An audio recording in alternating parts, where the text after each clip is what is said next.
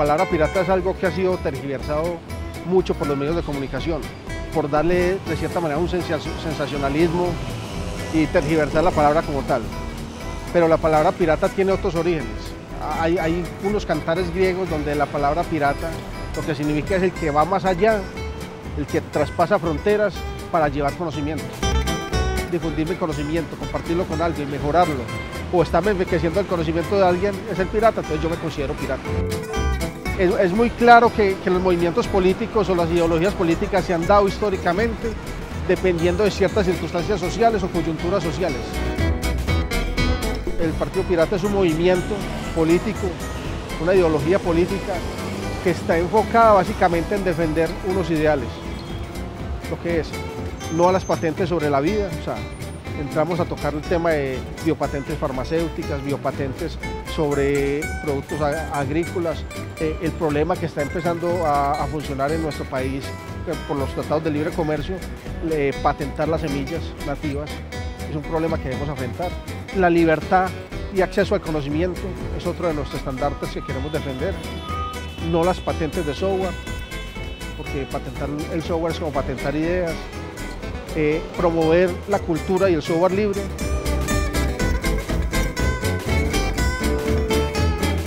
El, proyecto Pirate Bay trató de ser cerrado por piratería, como, se, logró o, se, trató de buscar mostrar por parte de los gobiernos, por la parte de la industria del entretenimiento, se cerró esto, entonces digo, no, vamos a buscar cómo defender eso porque estamos simplemente compartiendo información.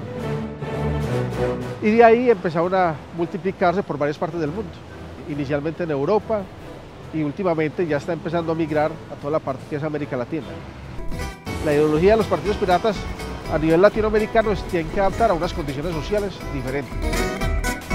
Es muy diferente Europa, sus condiciones sociales son muy diferentes a las de nosotros. Ellos tienen los problemas de, de no querer pagar un CD, de no querer pagar un libro, de no querer pagar ciertos servicios. Sea, casi es más difícil que la, que la gente del común trate de, hacer este tipo de pagos. Nuestro, proceso lleva en Colombia aproximadamente cinco años o algo más. Cuando un grupo de personas acá nos sentamos en Medellín a, pensar en la idea de la necesidad de un partido pirata en Colombia.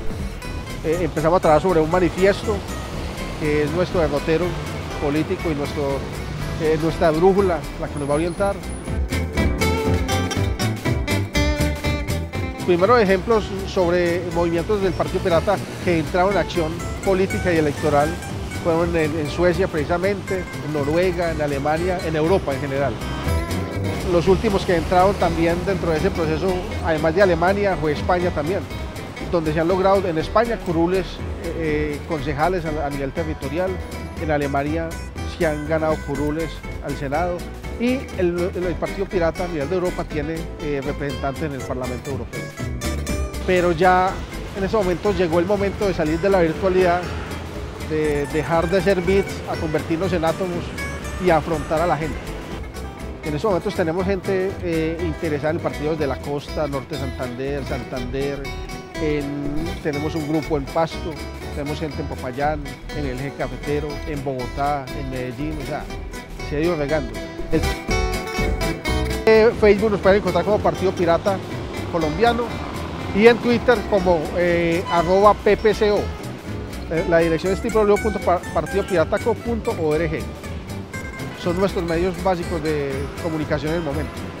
¿Cómo se pueden hacer miembros? Simplemente queriendo trabajar en la lista, intercambiar, dar ideas, colaborarnos en los procesos que vamos a iniciar prontamente.